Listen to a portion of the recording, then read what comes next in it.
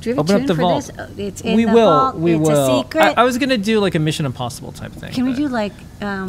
Dun, dun, dun, dun, Yeah. or maybe like Ocean's Eleven. I want like the Pink Panther theme. We could do a Pink Panther theme. Um, okay, so first up, Top um, secret. you you posted up uh, this. We just we just put this on the uh, the socials. What did I do? You, you were like, hey, there's this chip going around. Oh yeah, this was weird. Okay, so you know, um, as as you know, there's a chip shortage.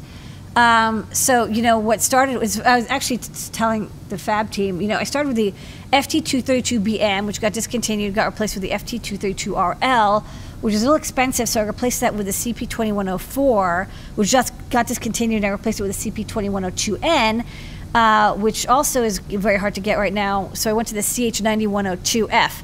Um, but as I was looking at the drivers for the CH2102F from WCH, they, they make the um, CH343 and 340 USB serial converters as well. I noticed that they had this like funky chip um, that had four UARTs uh, and a US and a US, single USB connection, and it has um, high speed uh, USB.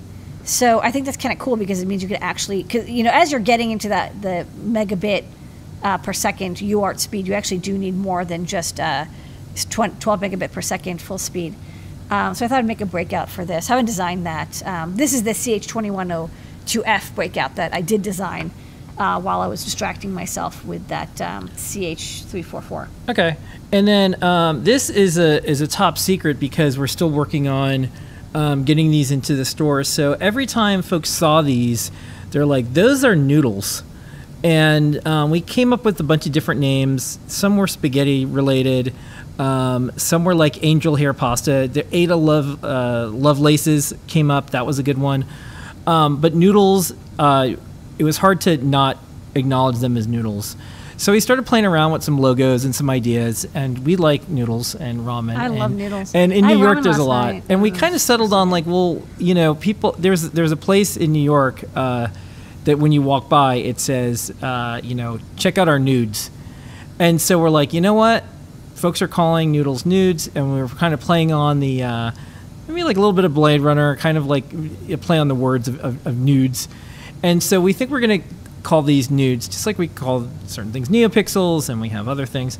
Um, and so I just wanted to show you kind of some of the experiments and some of the ideas with the logos. And then this is uh, an animation that goes along with it. Nudes. Nudes. And that's this week's top secret. Okay. Nudes it is. Nudes, nudes, nudes, nudes, nudes, nudes, nudes.